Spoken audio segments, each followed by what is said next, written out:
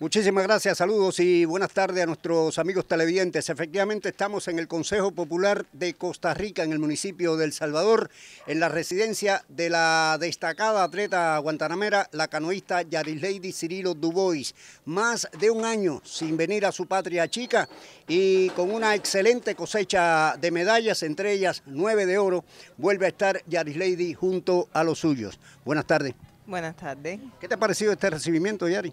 Bueno, para mí ha sido especial y muy emocionante para mí ver que todo mi pueblo se reúne para darme un reconocimiento, hacerme sentir nuevamente en familia como siempre me he sentido. Bueno, más de un año sin venir aquí a tu patria chica, eh, muy buenos resultados, tanto nacional como internacionalmente.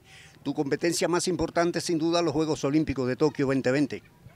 Sí, muy importante esa competencia para mí fue una gran experiencia y bueno, aparte de ser una gran experiencia, mis primeros Juegos Olímpicos que ahí tuve una noción de más o menos cómo andaba en el mundo y ya tengo sé cómo me tengo que preparar para París 2024. Bueno, tanto usted como su compañera de bote, la villaclareña Catherine Nuevo, se codea con lo mejor, con lo que más vale y brille de la canoa femenina en el mundo.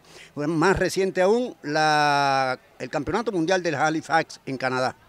Sí, eso para nosotros fue muy emocionante porque a pesar de que en el C2 a 500 metros no salimos muy bien, eh, bueno, en el single yo mejoré muchísimo mis resultados con respecto al año pasado, que quedé en noveno lugar y este año fue sexto lugar.